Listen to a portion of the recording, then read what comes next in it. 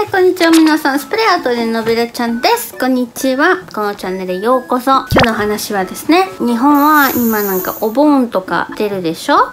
で、お盆は、あのー、まあ、大体死んだ人と、なんか、その、ま、祭りではないけど、まあ、セレブレーションとかって感じじゃないんですか。で、メキシコもそういうこともあります。メキシコにスペイン語で、 Día de los Muertos。